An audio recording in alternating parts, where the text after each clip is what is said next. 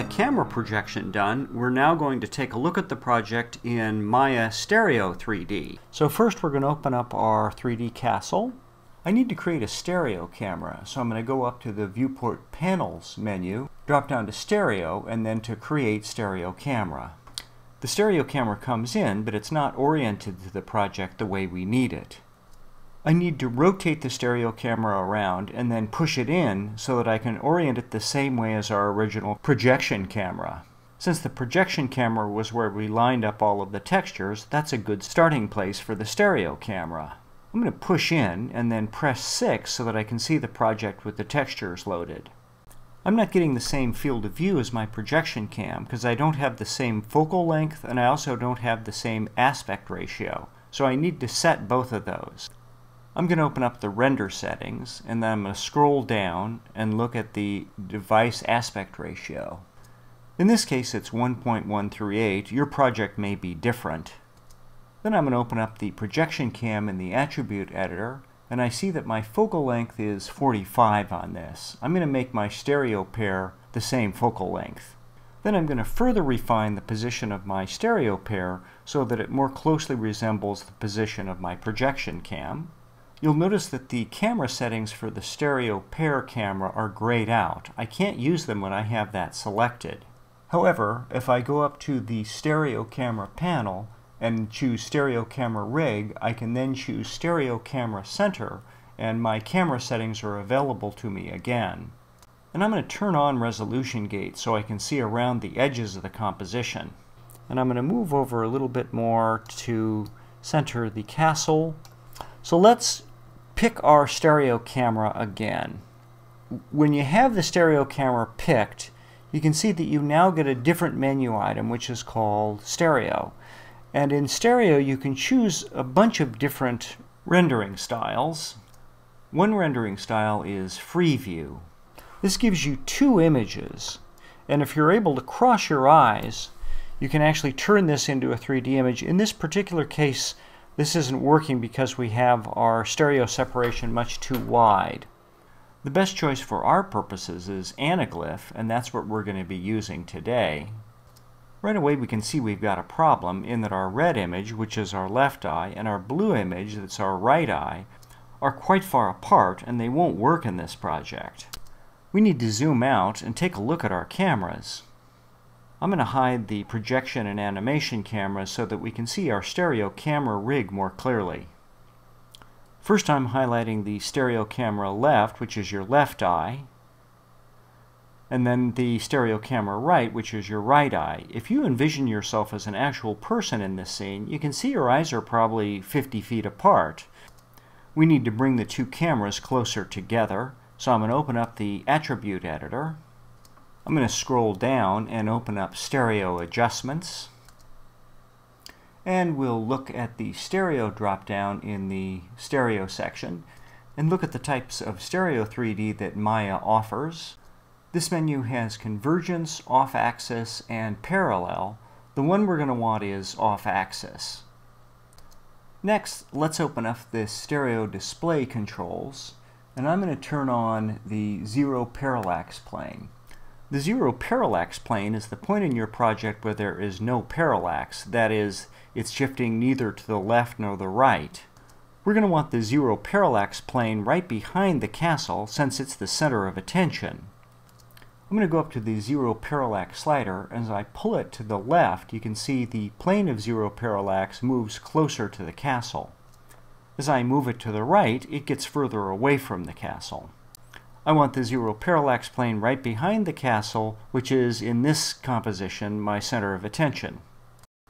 Another useful control on this is the safe viewing volume. If you turn it on, you can actually see the entire volume that the camera is taking in.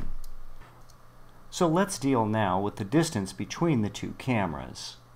So let's go up to the stereo menu and find the interaxial separation. Rather than 6.35 as it is here, I'm going to turn this down to a very small dimension, 0.5. And you can see the cameras jump right on top of each other. Even that seems a little large. I'm going to try 0.25. Then I'm going to go up and select to view the scene through the stereo camera rig. And the anaglyph separation on the foreground and background looks a lot more reasonable here. I'm going to move my zero parallax plane back a bit more so that my castle comes forward even more. I'm going to check it again in the perspective view, and I'm going to turn off this safe viewing volume. Now we can clearly see the position of our plane of zero parallax. One rule of thumb in 3D is that your most foreground object should not be closer than 50% of the distance between the plane of zero parallax and the camera. So it looks like this distance is acceptable. Let's check it again from the stereo camera, and this setup looks good. Take note that in this preview, the red is on the right in the foreground, and the red is on the left in the background, so your eyes are crossing over at the plane of zero parallax. As you work, you should be checking the stereo effect you're getting with a pair of red-blue anaglyph glasses. You can either get cheap cardboard ones, or you can get a more professional plastic pair that look like sunglasses. I'm checking the scene now, and it looks reasonably good in this preview. I think I'll move the castle forward a little more by moving back the plane of zero parallax. After some experimentation, I found that 60 looks pretty good. I'm pressing the Render Current Frame button at the top of the interface. And it's going through this rendering process to give us an anaglyph rendering, but this will be a true anaglyph rendering of the scene. And if I center this in my view and use my 3D glasses again, I can see I've really got uh, some very effective depth on this scene.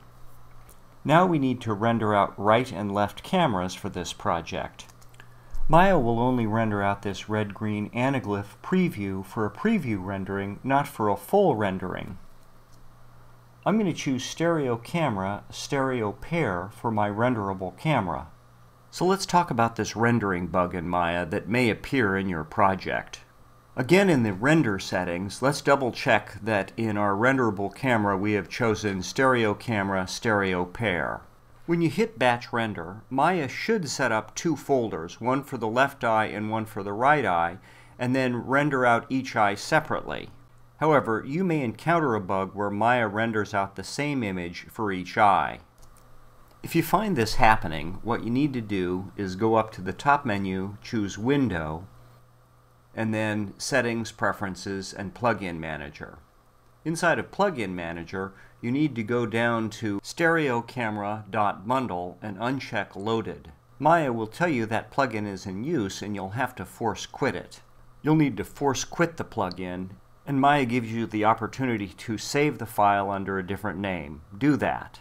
With the file saved under another name, I'm going to return to the plugin manager and turn on the stereo camera bundle again and then hit refresh. Now I'll go in and open up the version of the project I saved under a different name. Choose Don't Save when Maya offers you the opportunity to save the current project. And now you should find that Maya will properly render out the right and left eye we're all set. I'm ready to do the render. I'm going to go up here to my render settings again. I'm going to choose frames 1 through 200. I'm going to turn on batch render. And we're ready to go. Sit back. This is going to take a little while. Then we need to bring it into After Effects to set up the anaglyph effect. Okay, the rendering's done. Let's take a look at what we've rendered out. So let's go to our images folder and you can see Maya's rendered out one folder called StereoCam Left and that has 200 frames and one called StereoCam Right and just to make sure the rendering has gone correctly I'm going to open up the left eye and then I'm going to open up the right eye and as I switch back and forth between the two I can see they're different. So Maya has successfully rendered out a different right and left eye. So let's open After Effects. So inside of After Effects, I'm going to import the stereo camera left. It comes in, and I do want to rename this stereo camera left and then I'm going to bring in my stereo camera right and I'm going to do the same thing I'm going to rename this stereo camera right. Now I'm going to make a composition out of both the right and left eye. Castle Project left. And this one is Castle Project right. And I'm going to drag these down into another composition. And this is going to be called Anaglyph 3D.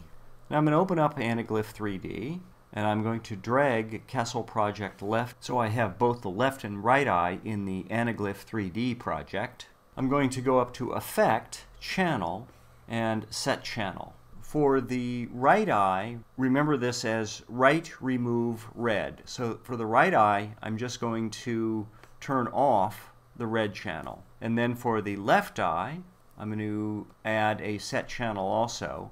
And I'm going to remove everything but the red channel. So if we turn that off, we can see the left eye is completely red, the right eye is this blue-green.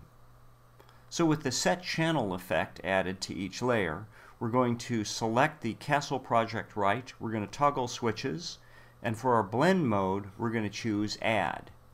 And now, if I zoom out a little bit, you can see I've applied the anaglyph effect, and this will all be in this one render. I just need to press Command M for Make Movie, and I'm going to save it. I'm going to output it to H264 so that I can view it. I'm going to say OK, OK, and I'm going to render. It's all done. Let's take a look at our 3D Castle movie. Put on your 3D glasses so you can view it with the full anaglyph 3D effect.